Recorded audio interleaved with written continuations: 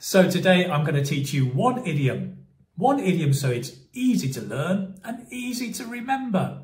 Now, it's an idiom that will make your English sound more natural. Now, this idiom is really useful when describing a person, a normal person, who does something surprising and unexpected, usually something difficult, like maybe passing an exam or winning a competition, something like that. So imagine you have a friend who enters a painting competition and you didn't know that they can paint and they win the competition. They are a dark horse. Yes, like the animal.